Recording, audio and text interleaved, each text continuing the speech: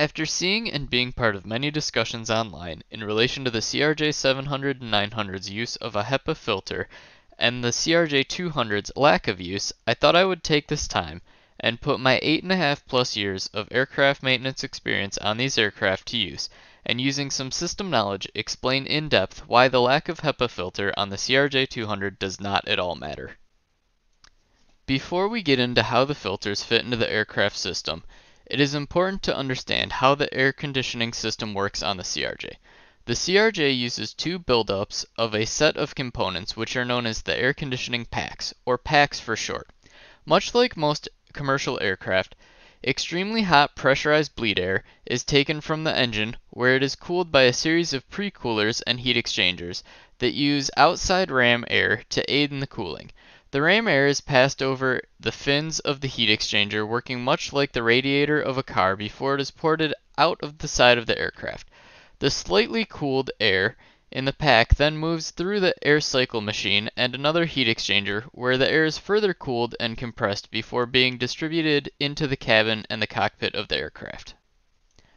The packs use a series of valves to allow more or less bleed or ram air, which allows the pilots to select the temperature of the conditioned air coming out of both packs.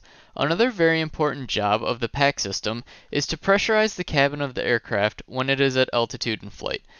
In the separate system, two components known as the outflow valves are automatically opened to variable sizes to let more or less air out of the aircraft to control the internal pressure known as the delta P. Both of the air conditioning system and cabin pressure control will come into play later in this video. So as we mentioned in the intro of the video, the CRJ 700 and 900 and its variants such as the CRJ 550 do use a HEPA filter. These aircraft have recirculation fans which when selected on, take already conditioned air from the cabin, send it through the recirc fan filters which are located under the cargo floor, and mix it with the air coming from the pack system. Since this recycled air is coming from the cabin, the recirc fans use a HEPA filter. The CRJ 100 and 200 do not use a HEPA filter. Now in this day and age of COVID and aircraft sanitizing, this fact may really scare some people and make you think you do not want to fly on a CRJ 200. Well, this fact doesn't really matter and here's why. The CRJ 200 does not use any type of cabin air recirculation. Because of the outflow valves we discussed earlier, there is a constant flow of air in the cabin. As conditioned air comes through the dado panels at the floor level and through the gaspers above the seats, the old air is routed under the floor and used to cool avionics computers in the compartment below the cabin floor before exiting the aircraft through the outflow valves.